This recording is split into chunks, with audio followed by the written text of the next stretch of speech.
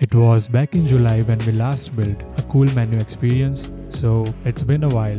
And while I was on the hunt for some fresh inspiration, I thought what better place to check than the sites of the month. That's when I landed on this website that won Awwwards Site of the Month in April, and as soon as I saw it, I knew I had to try recreating their full screen navigation.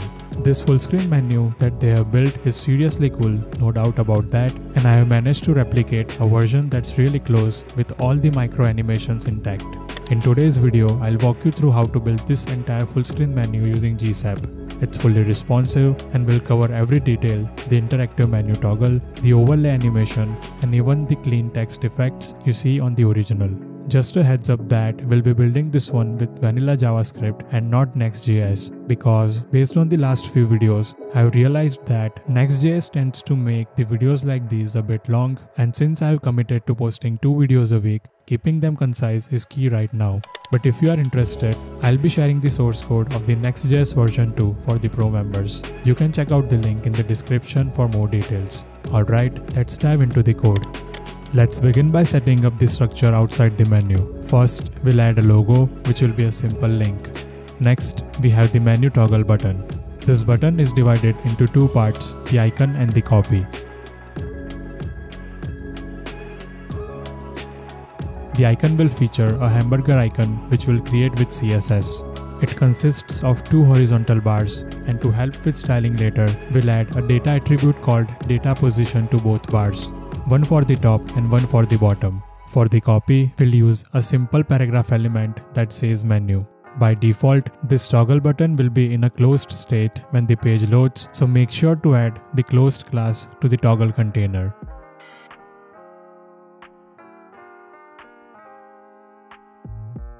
Now moving on to the menu, we'll split it into two columns. In the left column, we'll place three key elements, the logo, the links, and a video element. The logo link will be once again wrapped in a div.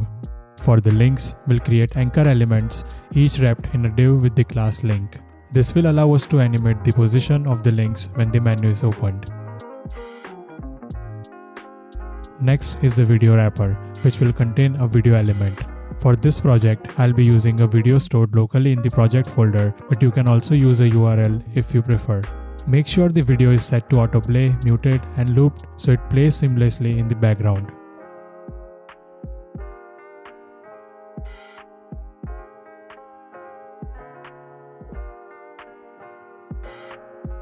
For the right column, we'll only need two elements, the socials and the header. The socials will be split into two subcolumns I'll be adding some placeholder text here for now. The header will just have a single h1 element. Later on, we'll use JavaScript to split it into individual letters wrapped with span elements for animation. And that's the HTML setup for now. Let's move on to the styling part. First, we'll apply a global reset by setting the margin, padding and box sizing to ensure consistent spacing across browsers. Now for the HTML and body, we are setting them to take up the full width and height of the viewport and we are applying a background image that's centered and covers the entire screen. I am also using the circular STD font for the text across the site.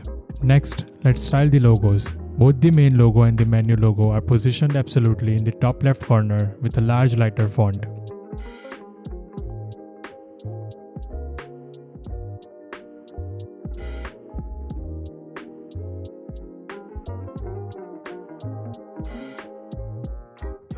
The main logo will be in black and the menu logo will be white to stand out against the dark menu background.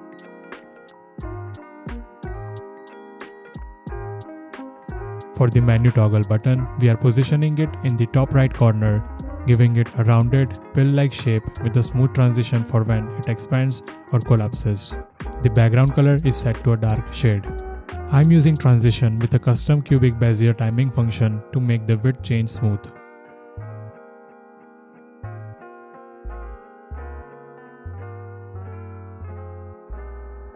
By default, we'll keep the toggle in a closed state, but when it's opened, the width shrinks and the menu copy disappears.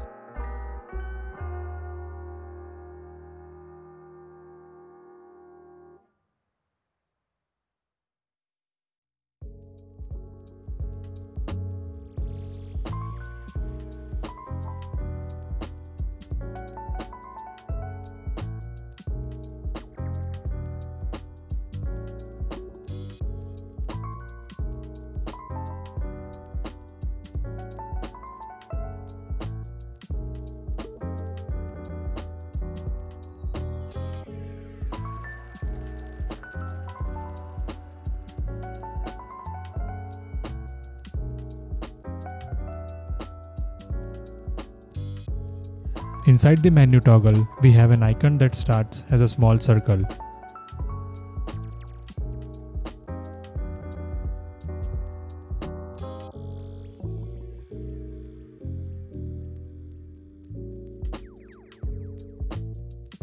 As you hover over the menu, the circle grows larger using the clip path property for smooth scaling. I've also set up transitions here for an organic feel.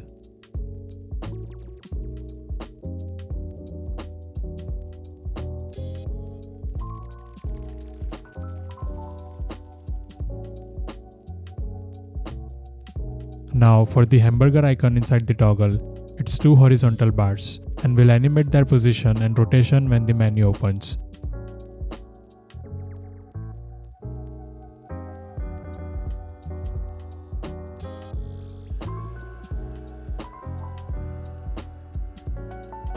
We are also applying transitions here so that the bar smoothly transform into an X shape on toggle.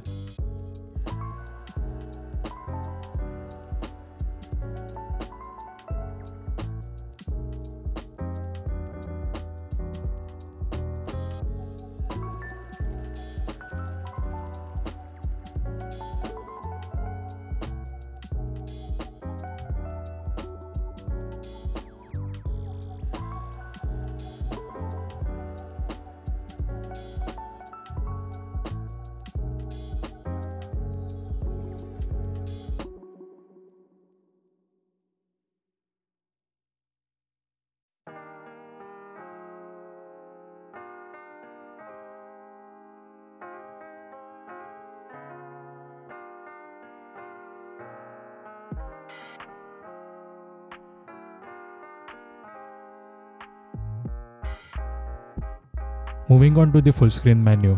It's position fixed to cover the entire viewport and is split into two columns.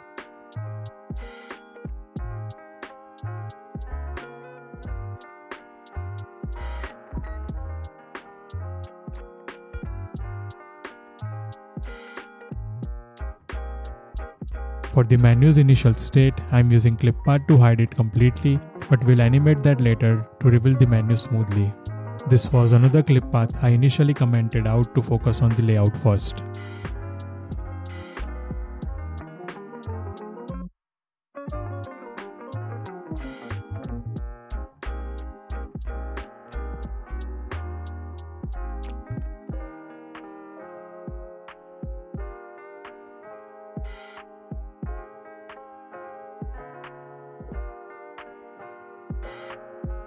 The links are styled with large bold text to match the full screen look.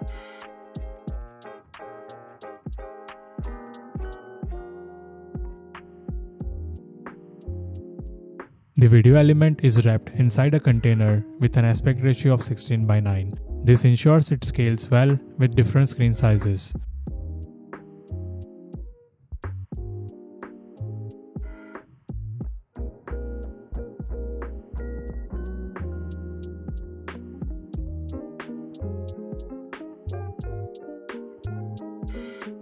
For the right column, the socials are divided into two subcolumns and I have added some placeholder text for now.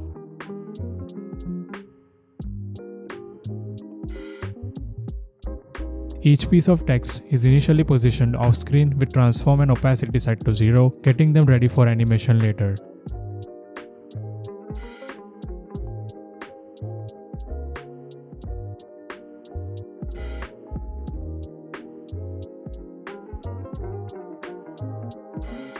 Finally, the header which contains the h1 element is styled with large lightweight text.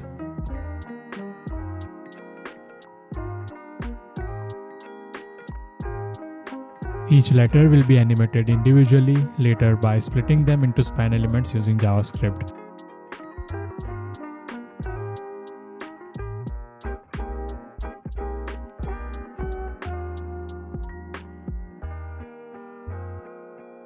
I'll also paste some more CSS for the responsive version.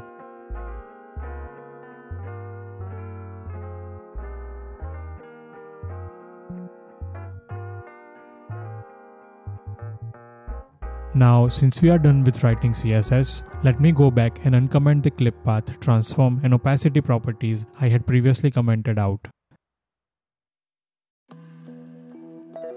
Now we are all set to jump into JavaScript to bring these elements to life with animations. First, we add the event listener for when the DOM content is fully loaded. This ensures the page elements are ready before we start manipulating them with JavaScript. We start by registering the GSAP CustomEase plugin, which allows us to create custom easing curves for our animations. I have set up an ease called Hop using a cubic Bezier curve that will give the animations a nice springy effect. Next, we grab the menu toggle button, the full screen menu, the individual links inside the menu, and the social links into variables for easy access. We also define a flag called isAnimating to prevent the menu from being clicked while an animation is running. Before we dive into the animations, let me add a function called split text into spans. This function takes any text inside the header h1 element and splits each letter into individual span elements. This is crucial for later when we animate each letter separately. Now, let's handle the menu toggle functionality. When the menu toggle button is clicked, the first thing we need to do is check if an animation is already in progress. If it is, we simply return and prevent any further actions. If the menu is in its closed state, we remove the closed class and add the open class. This sets the stage for the opening animation.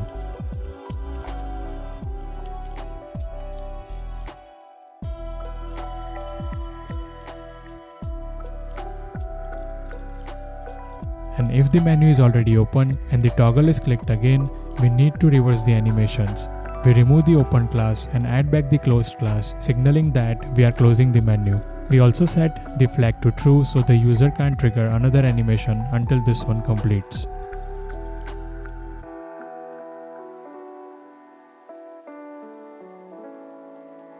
Next, here is where GSAP comes in.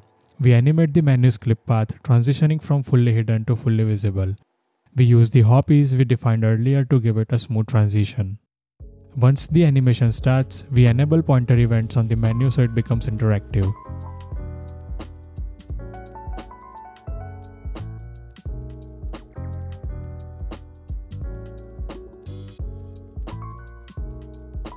After a short delay, we animate the links and social text, making them slide up into view with a staggered effect and fade in smoothly.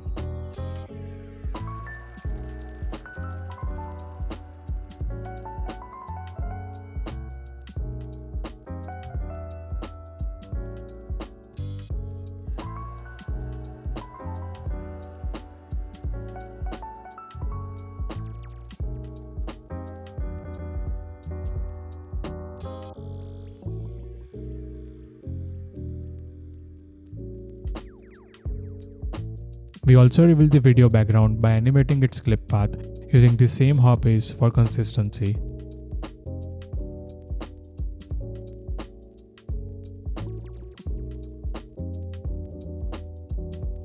The header text is then animated with each letter rotating back into view and scaling up creating a satisfying reveal effect.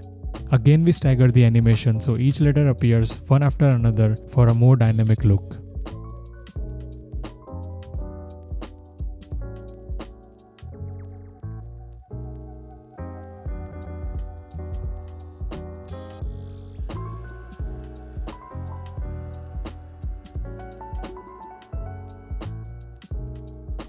Just like before, we set the flag to true to prevent multiple animations from overlapping. This time, we animate the menu's clip path back to its hidden state.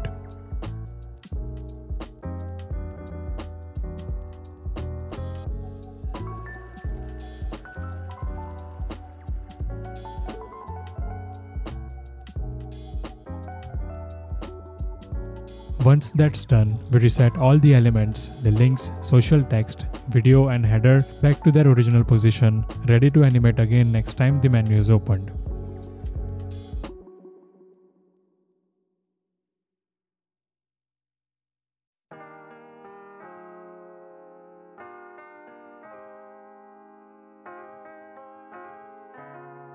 After everything is reset, we set the flag back to false, allowing the menu toggle to be clicked again. And that's it. That's how you can build a fully responsive, full screen animated navigation menu using JavaScript and GSAP. Hope you found the video helpful. See you in the next one.